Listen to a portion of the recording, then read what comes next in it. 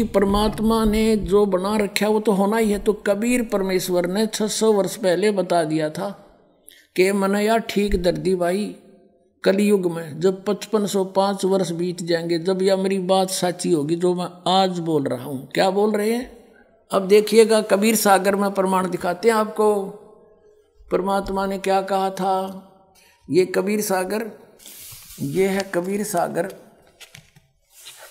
प्रथम खंड और ये किसके द्वारा संशोधित है? कबीर पंथी भारत पथिक स्वामी युगलानंद बिहारी द्वारा पुरस्कृत। मुद्रक प्रकाशक खेमरा श्री कृष्ण दास, अध्यक्ष श्री वेंकटेश्वर परेश, खेमरा श्री कृष्ण दास मार्ग, मुंबई। अब इसके अंदर आपको दिखाते हैं कबीर वाणी नामक एक चैप्टर है। और इसमें परमात्मा ने बताया है कि काल ने न्यू कहा था मैं बारह पंथ चलाऊँगा तेरे नाम ते कबीर साहब के नाम ते ये एक सौ छत्तीस पृष्ठ पे कबीर वाणी नामक ये एक चैप्टर है, बोध सागर का अंग है। ये खंड है, ये चैप्टर है और इसकी ये साखी द्वादश पंथ चलो सो भेद। परमात्मा ने लिखा था कि द्वादश पंथ काल फुरमाना, इन बारह बारह पंथ चलेंगे मेरे नाम से इनमें काल का ही फुरमान होगा, उसका आदेश और मंत्र चलेगा। भूले जीव न जाओ ठिकाना, ताते आगम कह हम राखा वंश हमारा चूड़ामणि शाखा अब यहाँ प्रथम जग में जागू भरमावे, दूसरा सूरत गोपाल, तीसरा मूल निरंजन की वाणी, और फिर टकसार पंथ फिर यह आगे बता रखा है सतनामी पंथ और ये राम कबीर पंथ, परम धामवाणी पंथ। तो ऐसे यहाँ तो पद्य भाग में है। अब आपको गद्य भाग से परिचित कराते हैं। परमात्मा ने काची नहीं छोड़ रखी। अब ये चैप्टर है कबीर चरित्र बोध। और ये खंड वही है बोध सागर का, अठारह सौ सत्तर पृष्ठ कबीर सागर में। यहाँ गद्य भाग में लिखा है, कबीर साहब के पंथों का वृंतांत नारायण जी का पंथ, ये नारायण जी का गलत लिख दिया इन्होंने, कबीर पंथियों ने। यहाँ चूड़ामणि आना चाहिए था, नारायण दास जी ने तो स्वीकार ही नहीं किया था परमात्मा के पंथ को, ये देखो। फिर यागुदास पंथ, सूरत गोपाल पंथ, मूल निरंजन पंथ, टकसारी पंथ, सतनामी पंथ, भगवान दास पंथ, कमाली पंथ, राम कबीर पंथ, परम धाम की वाणी पंथ जीवा पंथ और बर्मा है गरीबदास पंथ। अब हमारा इससे लिंक है कि बर्मा गरीबदास पंथ है। अब यहाँ देखो, हम फिर वापस आते हैं कबीर वाणी चैप्टर पे। ये देखिएगा। ये कबीर वाणी चैप्टर पे हम आगे 136 पृष्ठ पे वहीं। अब यहाँ से आसानी तो समझ में आएगा द्वादश पंथ काल फुरमाना, इस बारह पंथों में काल का ही मंत्र चलेगा, काल के ही जाप होंगे, काल के दूत आदेश चलेंगे। भूले जीव न जाओ ठिकाना। ताते आगम कह हम राखा वंश हमारा चूड़ामणि शाखा ये प्रथम है ये चूड़ामणि का। इन्होंने अपना फेर बदल कर दिया क्योंकि चूड़ामणि को अलग रखना चाहते थे। अब ये दूसरा है जागू का। आपने यहाँ देखा। ये दूसरा है जागू पंथ। ये कबीर चरित्र बौद्ध में ये आपने देखा यहाँ पर, अठारह सौ सत्तर पृष्ठ पे। ये दूसरा है, यागु, यागुदास को चाहे जागुदास को सूरत गोपाल मूल निरंजन भगवान, दास टकसारी पंथ सतनामी पंथ, परम धाम की वाणी, राम कबीर पंथ, ये गरीबदास पंथ, जीवा पंथ। अब ये वही है, यहाँ पद्य भाग में है। अब प्रथम जागू, ये दूसरा है जागू, मैंने दास ने ठीक कराया और तीसरा सूरत गोपाल चौथा मूल निरंजन फिर टकसारी पंथ, फिर भगवान दास पंथ, जीवा पंथ, सतनामी पंथ, जीवा पंथ, राम कबीर पंथ, यो दसवा है यो, ये है वो कमाली, कमाल का पंथ, और ग्यारहवा है परमदानी पंथ का पंथ। अब बारहवा यहाँ से शुरू होता है। आदरणीय गरीबदास साहिब जी का जन्म संवत सत्रह सौ चौहत्तर में हुआ था। ये गलती से पचहत्तर लिखा है। संवत सत्रह से पचहत्तर होई, ता दिन प्रेम प्रगटे जग सोई। एक सौ सैंतीस पर पढ़ेंगे हम। आज्ञा रहे ब्रह्म बोध लावे, कोली चमार सबके घर खावे। साख हमारी ले जीव समझावे, असंग जन्म ठोर नहीं पावे। और बर में पंथ प्रगट हो बाणी। ये बर्मा पंथ गरीबदास के पंथ में कहते मेरी महिमा की वाणी, मेरी लीला की वाणी पुनः प्रकट होगी उसके द्वारा। और शब्द हमारे का निर्णय ठानी। बर में पंथ प्रगट हो वाणी हवे वाणी ये हव है। और शब्द हमारे का निर्णय ठानी। अस्थिर घर का मरम ना पावे, ये बारह पंथ, हम ही को ध्यावे। कि बारह पंथ तक गरीबदास पंथ तक ये उस स्थायी स्थान पर नहीं जा सकते, सतलोक प्राप्ति नहीं कर सकते। फिर कहते हैं बर में पंथ, हम ही चलावें। बर में पंथ में हम ही चलकर आवेंगे, गरीबदास वाले मार्ग चल गए और सब पंथ मिटा के एक का पंथ चलावें। और कहते हैं, अब परमात्मा ने कलयुग को तीन चरणों बांटा है। ये प्रथम चरण कलयुग निर्याना, तब मैं घर मांडो मैदाना। दाना प्रथम चरण कलयुग का उस समय समझो जब मैं मैं घर से सह शरीर जाऊँगा, वो प्रथम चरण होगा। और बिचली पीढ़ी का कब होगा? पचपन सौ पाँच बीत जाएँगे तब। अब देखो आगे।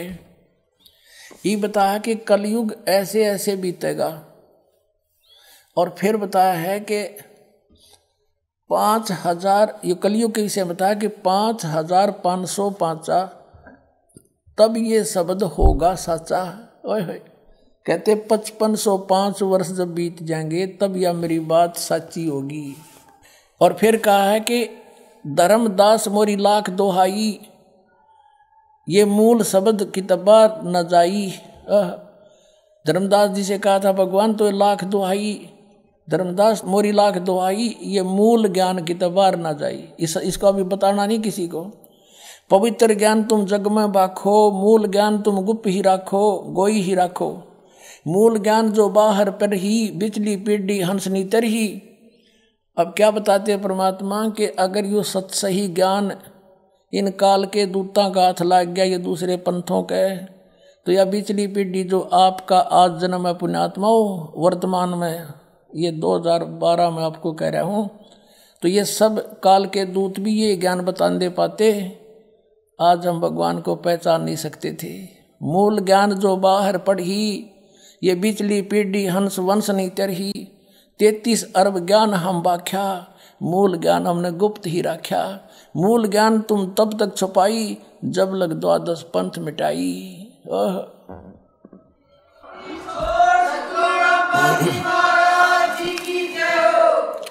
अब ये कंसेप्ट क्लियर और करते हैं कि ये पचपन सौ पाँच वर्ष कब कलयुग बीता, कब हुआ? पुणात्माओं हिंदू धर्म के अंदर गीता प्रेस गोरखपुर से छपी पुस्तक और शंकराचार्यों के मुख से निकले वचन एथेंटिक माने जाते हैं। अभी दिखाता हूँ आपको इन शंकराचार्यों के ही द्वारा कलयुग की कैलकुलेशन एक पुस्तक है हिमालय तीर्थ। इसमें लिखा है कि एक शिव रहस्य नामक कोई पुस्तक है। उसकी एक श्लोक का हवाला दे रखा है कि शंकराचार्य का जन्म तीन हज़ार कलयुग जब बीत जाएगा, तीन हज़ार वर्ष, तब होगा। देखिएगा। ये है हिमालय तीर्थ। और ये कहाँ से छपी है, ये दिखाते हैं।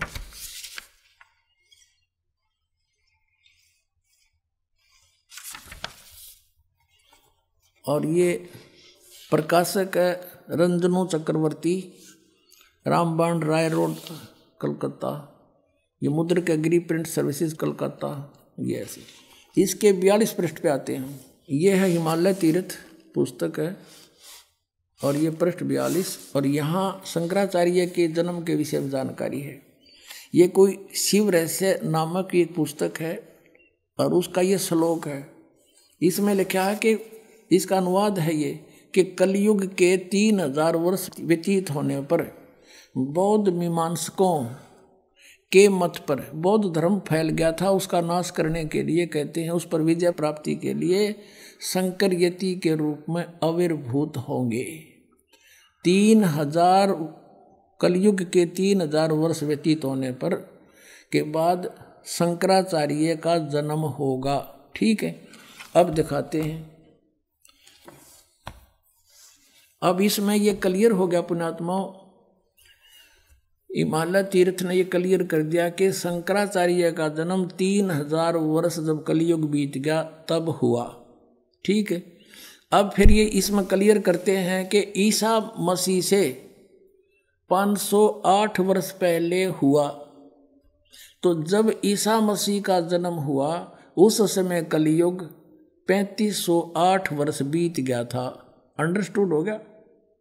ईसा से 508 वर्ष पहले और कलयुग के तीन हज़ार वर्ष बीत जाने पर तो ईसा ईसा जी का जब जन्म हुआ तो उससे ये सिद्ध हो गया कि पैंतीस सौ आठ, पैंतीस सौ आठ वर्ष कलयुग बीत चुका था। अभी दिखाते हैं, देखिए। और अब 2000 चल रहा है 2012 ये देखो। ये है एक पुस्तक है ज्योतिर्मय ज्योतिर्मठ। और ये कहाँ से छपी है ये दिखाते हैं आपको। ये है ज्योतिर्मय ज्योतिर्मठ। ये इनके संरक्षक हैं। ये है जगत गुरु शंकराचार्य स्वामी स्वरूपानंद सरस्वती जी, जो वर्तमान में द्वारका ज्योतिष पीठाधीश एवं द्वारका शारदा पीठाधीश्वर, ये दोनों के पीठाधीश्वर हैं वर्तमान के स्वरूपानंद जी। इनकी देख रेख में लिखी गई है। संपादक, लेखक एवं संकलन करता है विष्णुदत्त शर्मा, अध्यक्ष, आध्यात्मिक उत्थान मंडल, दिल्ली। प्रेरणा स्रोत ये मुद्रक है fine, inter enter and packs. ये सारा कुछ लिखा है। प्रकाशक, अखिल भारतीय आध्यात्मिक उत्थान मंडल, ये सारा लिखा है इनका। राम रामनगर तिवारी मंडोली रोड, सादरा दिल्ली से। अब इसके ग्यारह पृष्ठ पे कितना क्लियर किया है? ग्यारह पृष्ठ पे। यहाँ से आते हैं, आदि शंकराचार्य संक्षिप्त जीवन परिचय। हम सिर्फ़ इतना ही लेते हैं कि लगभग 2500 वर्ष पूर्व शंकराचार्य का जन्म चरमराती अवस्था में कलयुग के युग में केरल प्रांत में पूर्णा नदी के तट पर हुआ। हम यहाँ लेते हैं अब अब यहाँ क्या बताते हैं कि शंकराचार्य का जन्म भगवान शंकर के आशीर्वाद से हुआ। अतः उनका नाम शंकर रखा गया। गुरु परंपरागत मठों के अनुसार उनका आविर्भाव काल, जन्म का समय, ईसा पूर्व 508 बताया जाता है।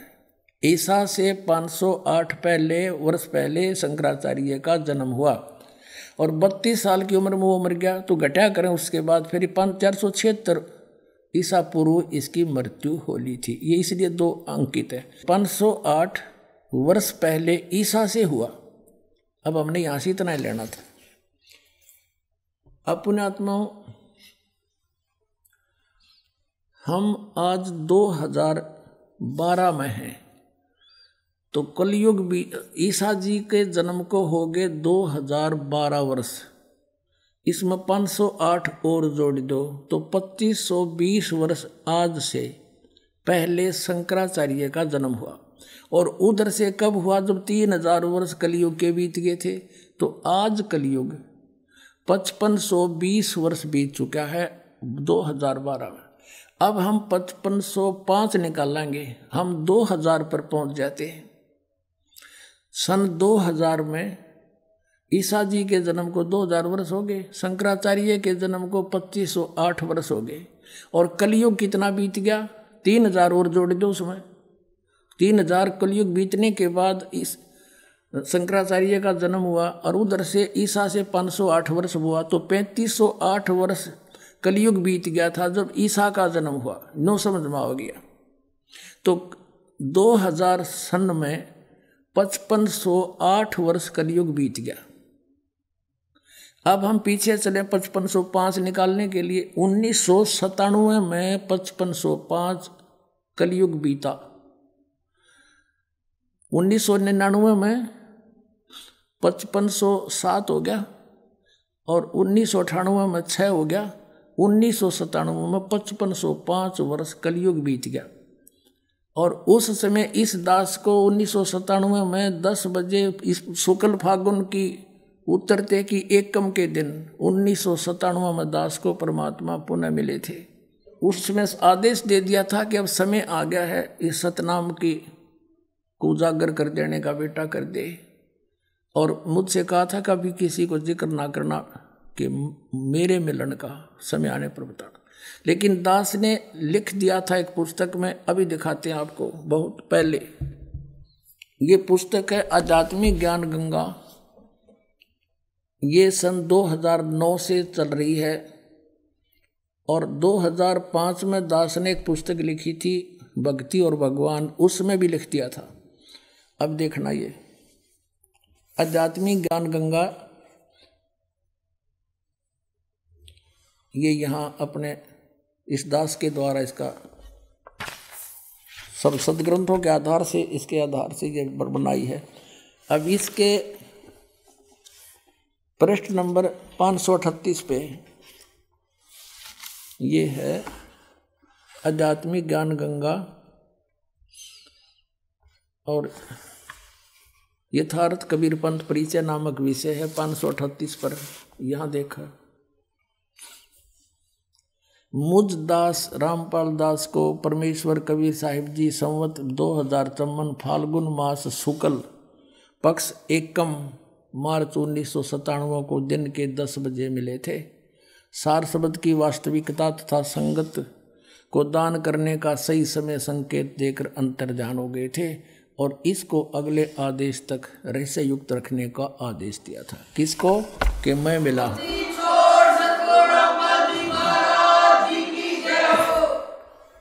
तो पुणात्मा ये दास ने कोई बाद में नहीं लिखी। जो पचपन सौ पाँच तो ईब समझ में आई है हमारा। ये ईब कैलकुलेशन करी दोबारा भी कैसे सेट होया। ये वहाँ नो का नो। जिसने मालिक ने बना के भेज रखा, उसमें कमी नहीं रह सकती। ये दास उसी परमेश्वर का भेजा हुआ है आपके लिए।